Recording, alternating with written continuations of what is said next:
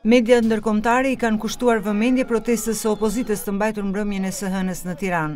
Associated Press shkruan se qëllimi i protestës së opozitës është një kabinet i përkohshëm qeveritar, pasi opozita në Shqipëri ka akuzuar prej kohësh socialistët e kryeministrit Rama për korrupsion, manipulim të votimeve të mëparshme dhe uzurpim të gjyqësorit. Agjencia e lajmeve Reuters thekson se policia shqiptare përdori gaz lotsjellës për të shpërndarë protestuesit që hidhnin bomba molotov. Sipas Reuters, protestuesit akuzuan qeverinë e kryeministrit Rama për korrupsion, nepotizëm dhe përpjekje për t'i mbyllur gojën opozitës. Ata protestuan gjithashtu kundër mbajtjes nën arrest shtëpie të liderit partisë opozitare Sali Berisha. Edhe Deutsche Welle nënvizon se gjatë protestës, iu bë thirrje qeverisë të japë dorëheqjen. Protestat e organizuara nga opozita e djathtë kërkojnë zvendësimin e qeverisë në pushtet me një kabinet të përkohshëm, përpara zgjedhjeve parlamentare të vitit të ardhshëm.